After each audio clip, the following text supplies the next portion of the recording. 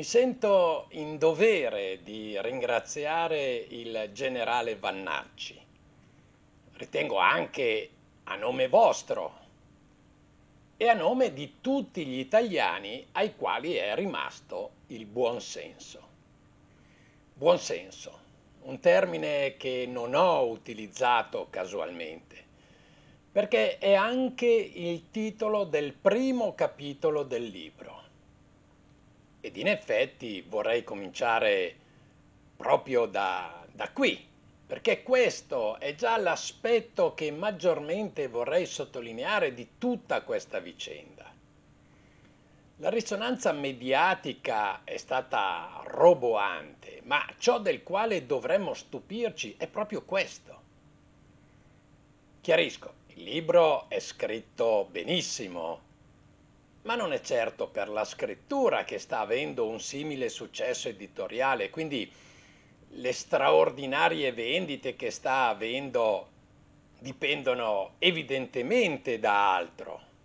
E da che cosa? Ma ovviamente dalle tesi sostenute sui vari argomenti trattati. Ecco allora il motivo per il quale dovremmo stupirci. Le tesi sostenute sui vari argomenti trattati dal, dall'autore sono semplicemente, ecco non dico banalmente, ma sono semplicemente tesi di buon senso, sulle quali non si può che concordare. E questo quindi è lo straordinario ossia ad essere straordinario è semplicemente l'ordinario. E purtroppo questo dovrebbe allarmarci. Pensare all'ordinario come qualcosa di rivoluzionario e non può lasciarci indifferenti. Anzi, ci deve portare a porci una domanda. Ossia, siamo ancora in tempo per cambiare le cose in maniera pacifica. Siamo ancora in tempo a raddrizzare il mondo che sta andando al contrario. Visto che il libro è stato pubblicato il 10 agosto, ossia meno di dieci giorni fa, ed è di gran lunga in testa alle classifiche delle vendite, beh, la risposta alla domanda dovrebbe per questo essere sì, siamo ancora in tempo. C'è ancora tanta gente alla quale è rimasto il buon senso. Se invece ci riferiamo alla reazione avuta dalla classe politica e soprattutto da persone che ricoprono cariche considerate di prestigio all'interno del governo, allora la risposta sarebbe no, non siamo più in tempo. La politica ormai è persa, è totalmente distaccata dal buon senso.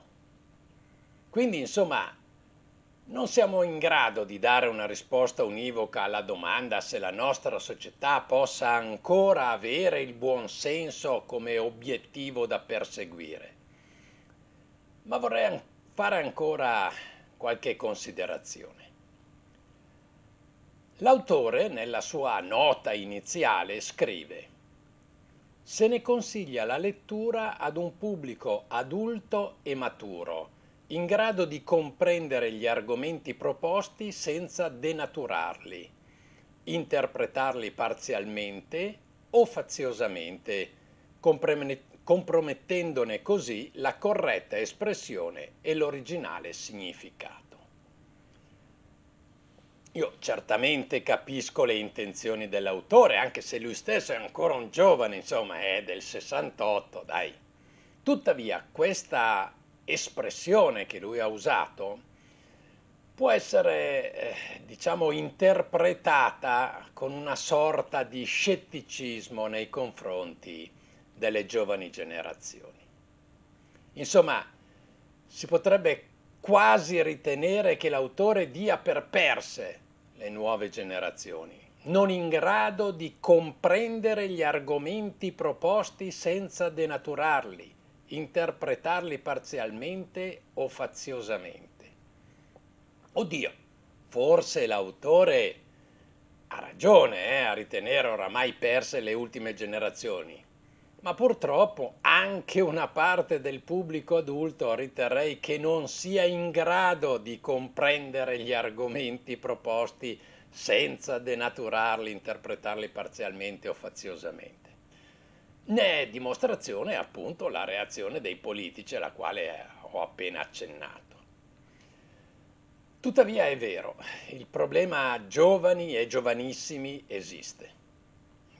Diciamo per coloro che hanno meno di 30 anni è un problema serio, mm, da non sottovalutare. I giovani dovrebbero essere in prima linea nel proporre cambiamenti, invece eh, lo dico con sofferenza, mi sembrano inebetiti. Naturalmente è sempre bene precisare che general, generalizzare non è mai corretto, eh, ovviamente. E ovviamente questo non ha nulla a che vedere con il normale, diciamo logico conflitto generazionale. È la mancanza di reazione alle imposizioni che le giovani generazioni hanno manifestato negli ultimi anni a risultare francamente preoccupante. Ma insomma, dai, consoliamoci con quanto detto in precedenza e terminiamo questo video con ottimismo, guardando alle straordinarie vendite fatte registrare da un libro dal costo di 19,76 euro per 373 pagine, una spesa che va, vale assolutamente la pena di fare. Un libro che, che ha un, un grande, un grandissimo pregio, quello di infondere la fiducia che il mondo al contrario si può ancora raddrizzare. Alla fine il buon senso che caratterizza la maggior parte della popolazione deve prevalere. E allora fatemi dire ancora una volta fatemi ripetere grazie, grazie generale Vannacci.